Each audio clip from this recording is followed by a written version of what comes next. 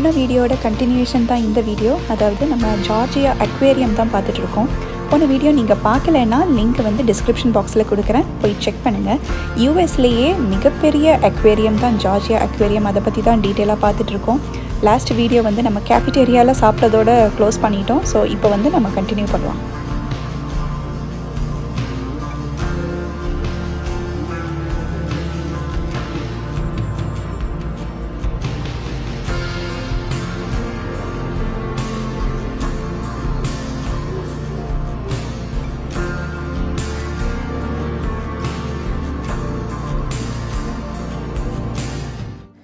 First வந்து predators of deep அந்த கேலரியை உள்ளே போய் பார்க்கலாம். ஸோ இங்கே வந்து மெயினாக ஷார்க்ஸ் வச்சுருக்காங்க. அதாவது சுறா வச்சுருக்காங்க. ப்ரெடேட்டர்ஸ் அப்படின்னா கூட இருக்கிற இன்னொரு அனிமலையோ இல்லை இன்னொரு உயிரினத்தையோ சாகடித்து சாப்பிட்றது தான் ப்ரெடேட்டர்ஸ் ஸோ அதனால தான் நம்ம இதுக்குள்ளே ஷார்க்ஸ் பற்றி பார்க்க போகிறோம்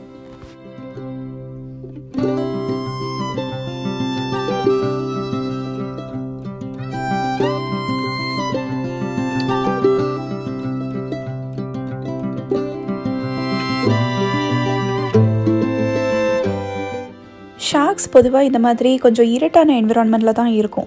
இதனாலேயே நிறைய இடத்துல வந்து ஃப்ளாஷ் லைட் யூஸ் பண்ணி ஃபோட்டோஸ் எதுவும் எடுக்காதீங்கன்ற மாதிரி ஒரு ரிமைண்டர் நிறைய இடத்துல வச்சுருப்பாங்க.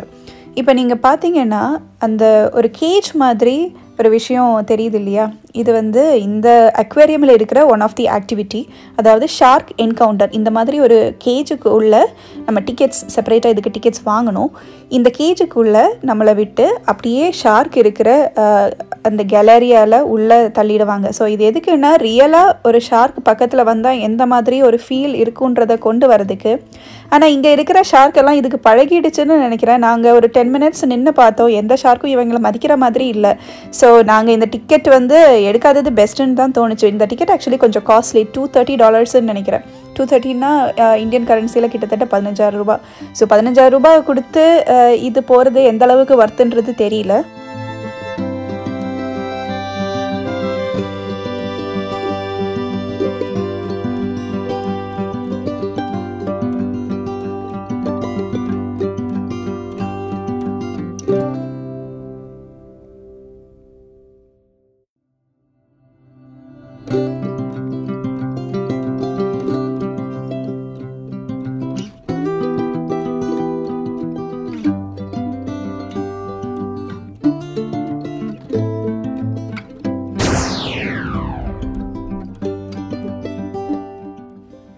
இந்த சின்ன சின்ன மீன் பண்ணுற ஃபார்மேஷனை வந்து நம்ம சின்ன வயசில் நிறைய டிஸ்கவரி சேனலில் தான் பார்த்துருப்போம். அது ஆக்சுவலி இங்கே பார்க்குறதுக்கு நல்லாவே இருந்தது. இங்கே நிறைய வெரைட்டிஸ் ஆஃப் ஷார்க்ஸ் வச்சுருக்காங்க. I think four to five varieties வச்சுருக்காங்க. கில்லர் ஷார்க் டைகர் ஷார்க் இந்த மாதிரி சில ஷார்க்ஸ் வச்சுருக்காங்க.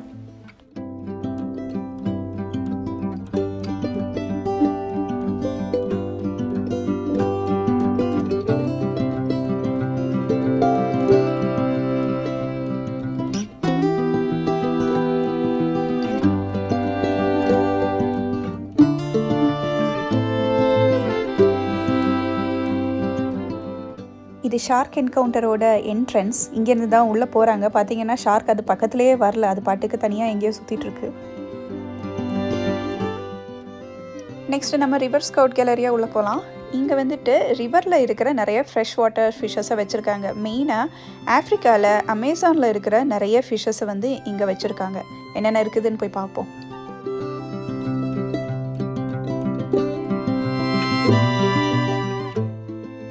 இந்த ரிவர் ஸ்கவுட்டில் முக்கால்வாசி மீனும் ரொம்ப ஆக்டிவாக இல்லாமல் கொஞ்சம் இருக்கிற இடத்துல இருக்கிற மாதிரி தான் இருந்தது. ஒரு ஒரு சில மீன்கள் மட்டும்தான் கொஞ்சம் ஓடிட்டு இருந்தது. மற்றெல்லாம் நிற்கிற இடத்துல நிற்கிற மாதிரியே இருந்தது. சரியான சோம்பேறிங்க போல். மீனோட பேரெல்லாம் ரொம்பவே காம்ப்ளிகேட்டடாக இருக்குது நீங்களே படிச்சுக்கோங்க.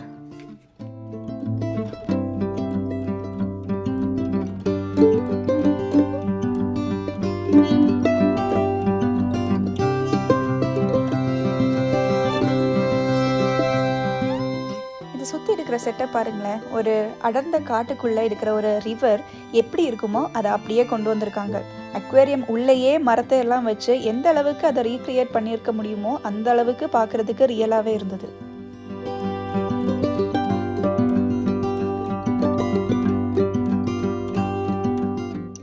இது பேர் அலிகேட்டர் டர்ட்டில் அலிகேட்டருக்கும் டர்ட்டிலுக்கும் நடுவில் இருக்கிறது போல்.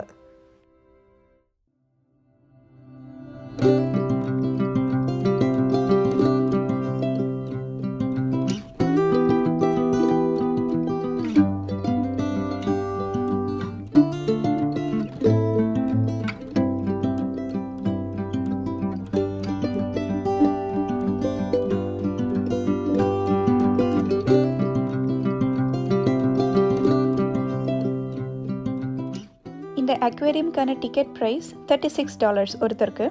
அது கிட்டத்தட்ட ரெண்டாயிரத்தி ஐநூறுரூபா இந்தியன் கரன்சியில் சொல்லணுன்னா ஸோ இந்த அக்வேரியமோட டைம் ஸ்லாட்ஸ் நான் போன வீடியோலேயும் சொல்லியிருப்பேன். எட்டு மணிக்கு ஓப்பன் பண்ணுறாங்க இப்போ ஆன்லைன் டிக்கெட் மட்டும்தான் அவைலபிள் லிமிட்டடான ஆளுங்களை தான் அலோவ் பண்ணுறாங்க கோவிட் சுச்சுவேஷனுங்கிறதுனால அதனாலேயே டிக்கெட்ஸ் வந்து சீக்கிரமாக முடிகிறதுக்கான வாய்ப்புகள் அதிகம். ஸோ நீங்கள் ஆன்லைன்லேயே டிக்கெட்ஸ் கொஞ்சம் அட்வான்ஸாக பிளான் பண்ணுங்கள் இப்போதைக்கு கவுண்டர் டிக்கெட்ஸ் கிடையாது.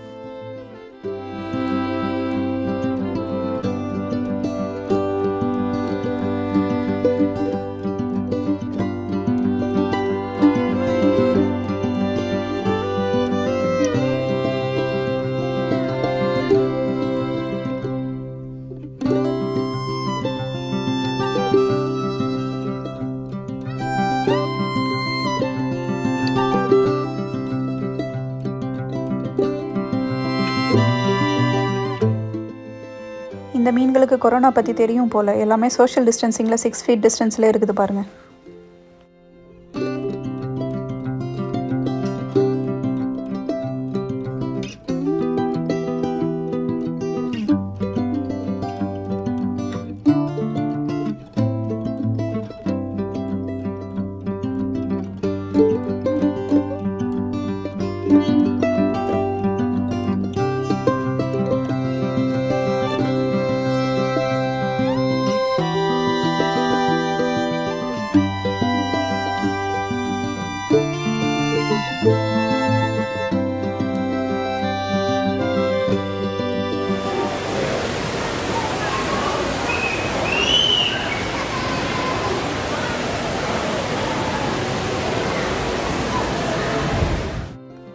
இதுக்கு பேர் வந்து ஸ்டிங்ரே. இதை வந்து நம்ம தொட்டு பார்த்து அது எப்படி இருக்குன்றத ஃபீல் பண்ணிக்கலாம். அதனால் தொட்டு பார்க்குறதுக்கு ஏற்ற மாதிரி ஒரு சின்ன டேங்க் மாதிரி வச்சு செட்டப் பண்ணியிருக்காங்க.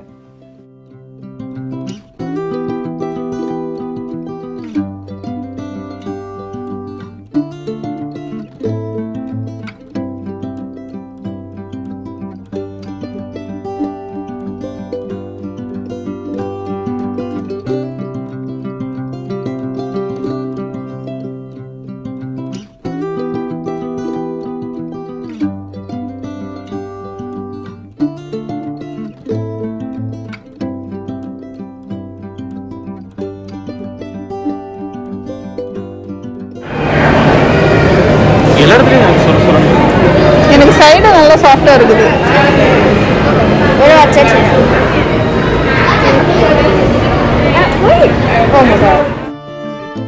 ஒயிட் அலிகேட்டர் இதை வேற எங்கேயும் பார்த்ததில்ல. இங்கே தான் ஃபர்ஸ்ட் டைம் பார்க்குறேன்.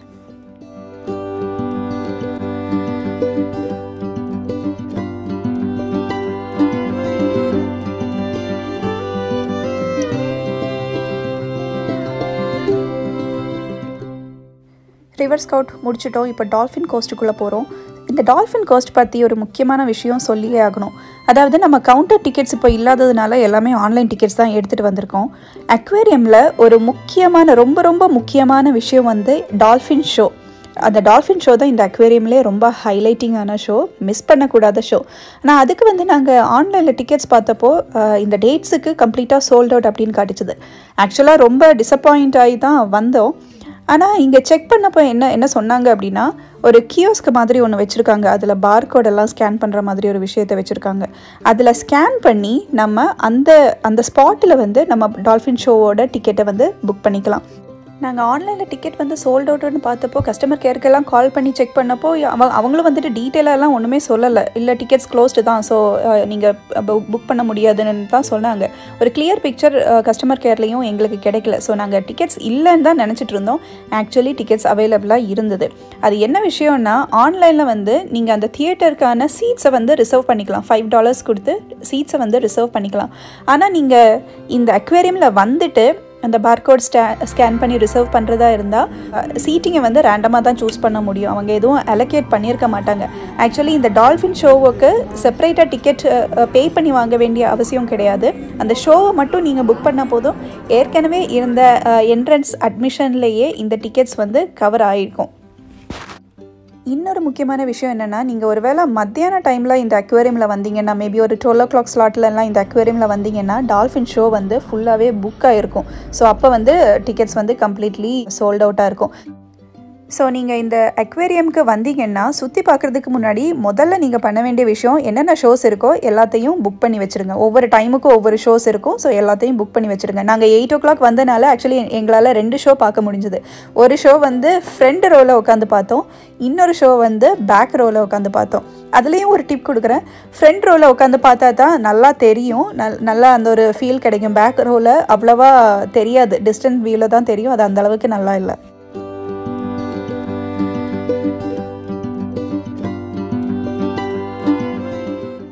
இப்போ நீங்கள் பார்க்குறது பெலுகா வெயிலோட க்ளோஸ் என்கவுண்டர் இன்னொரு வியூ பாயிண்ட்னு சொல்லலாம். போன வீடியோவில் நீங்கள் பெலுகா வெயிலோட ரெண்டு மூணு வியூ பாயிண்ட்டும் ரெண்டு மூணு கிளிப்பிங்ஸும் பார்த்துருப்பீங்க. ஸோ இது வந்து இன்னொரு வியூ பாயிண்ட் டால்ஃபின் பற்றி தானே பார்த்துட்டு இருந்தோம். திடீர்னு இதுக்கு பெலுகா வெயில் கிட்டே போனீங்க அப்படின்னு கேட்டால் டால்ஃபின் ஷோ வந்து ஷூட் பண்ணுறதுக்கான பர்மிஷன் கிடையாது. ஃபோட்டோகிராஃபி அண்ட் வீடியோகிராஃபி அங்கே நாட் அலோட் அந்த ஒரு சுவாரஸ்யம் இருக்கணுன்றதுக்காக அவங்க ஃபோட்டோகிராஃபி அண்ட் வீடியோகிராஃபி எடுக்க விடுறதில்ல. ஸோ நாங்கள் அங்கேருந்து ஸ்டெப் அவுட் பண்ணி பெலுகா வேலை பார்க்க வந்துட்டோம். ஆக்சுவலி டால்ஃபின் ஷோ வந்து கண்டிப்பாக ரொம்பவே மிஸ் பண்ணக்கூடாத ஷோ ரொம்ப ரொம்ப ரொம்பவே நல்லா இருந்தது.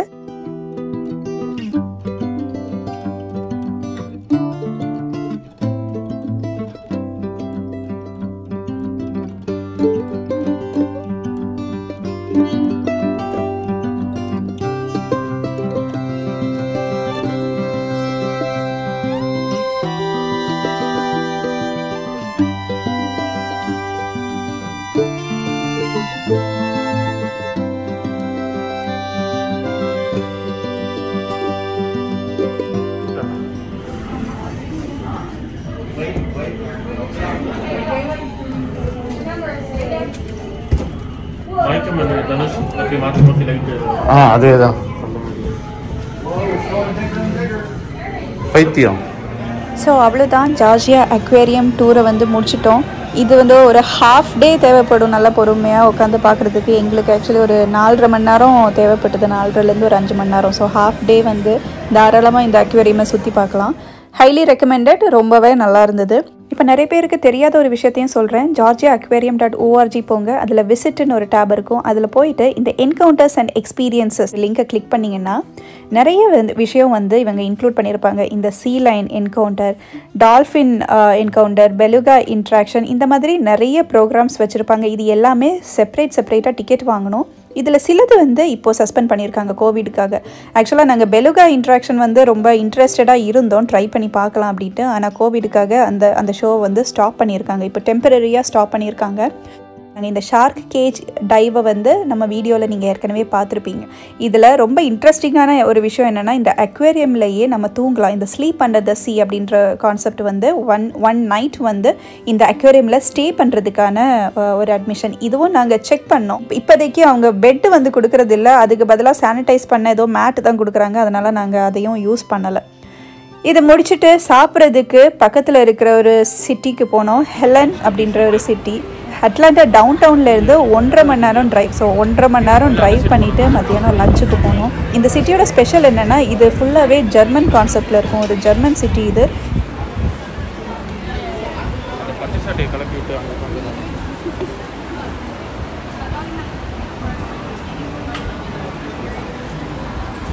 ஒரு ரிவர் சைடு எஃபெக்டில் ஜெர்மன் ஃபுட் சாப்பிட்லான்னு சொல்லிட்டு தான் ஒன்றரை மணி நேரம் ட்ரை பண்ணி அட்லாண்டாலேருந்து இங்கே வந்திருக்கோம்.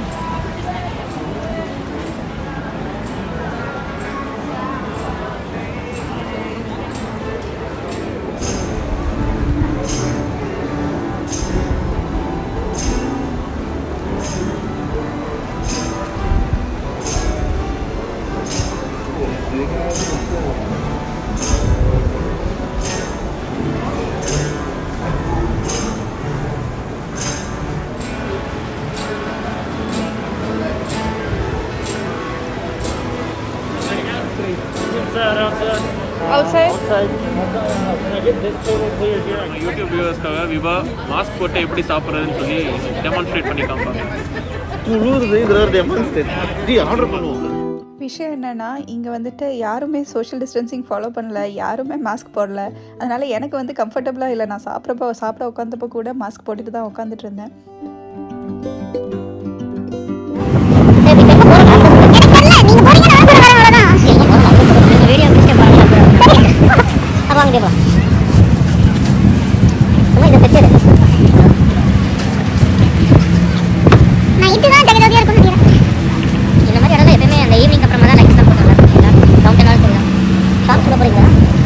சவுண்டே வாங்கலையா? இதெல்லாம் ஒரு இடம். ஓட்டல தாங்க முடியலடா. இந்த ஹெலன் சிட்டியோட பியூட்டியே வந்து ஈவினிங் டைம்ஸ் தான். ஸோ இந்த லைட்ஸ் எல்லாம் போட்டு அந்த என்விரான்மெண்ட்டே டிஃப்ரெண்ட்டாக இருக்கும்.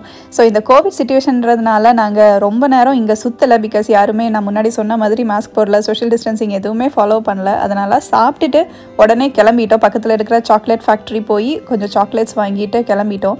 இன்னொரு வாட்டி இந்த கோவிடெல்லாம் முடிஞ்சதுக்கப்புறம் சுச்சுவேஷன் எல்லாம் நார்மல் ஆனதுக்கப்புறம் வர முடிஞ்சால் வந்து ஒரு ஈவினிங் கவர் பண்ணி டீட்டெயில் இன்ஃபர்மேஷன் கொடுக்குறேன். ஸோ இப்போதைக்கு நாங்கள் ஆஃப்டர்நூன் லஞ்ச் சாப்பிட்டு கிளம்பியாச்சு. மீதி இந்த சாக்லேட் ஃபேக்ட்ரியை ஒரு ரவுண்ட் பார்த்துட்டு போகலாம்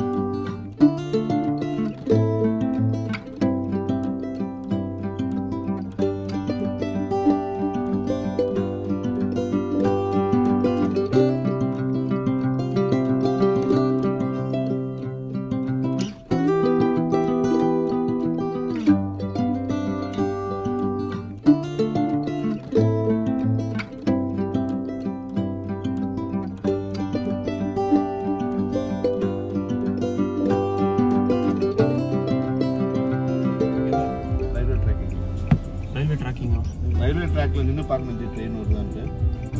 ஓப்பன் பண்ணி உள்ள பார்க்குறீங்களா ஜி?